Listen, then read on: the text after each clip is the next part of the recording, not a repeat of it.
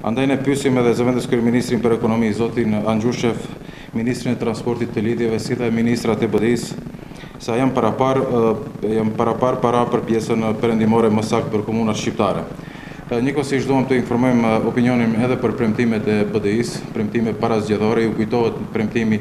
i madh domethënë për rrugën Tetovë-Prizren i cili gjithmonë ka qenë pjesë e fushatës parazgjedhore të BDI-së dhe ky moment në asnjë mënyrë që të realizohet apo të fillojë të fillojë në kuadër të qeverisë një projekt i tillë. Gjithashtu përkujtojmë opinionin se edhe kjo qeveri ashtu si qeveria BDI VMRO nuk e shef të arsyeshme të fillojë domethënë me ndërtimin e aksit rrugor Shkup-Dibër që do të fillonte edhe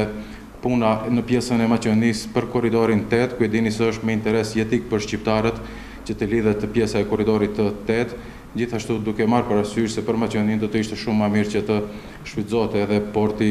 i Durrësit, sigurisht që të kontribuonte edhe në aspektin e turizmit mes Shqipërisë dhe Maqedonisë. Një moment tjetër është një dështim i radhës është qeveria LSDM,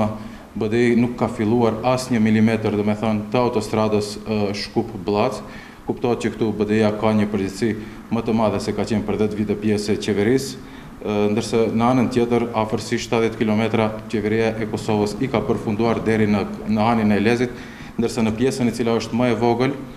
nuk ka asnjë fillim të punës. Andaj këtu vihet në shprehje edhe aspekti i dobët politik i BDI-së, që nuk është në gjendje politike që të fillojë projekte të cilat janë edhe në interes të shqiptarëve dhe që ndërlidhet Kosova dhe Shqipëria.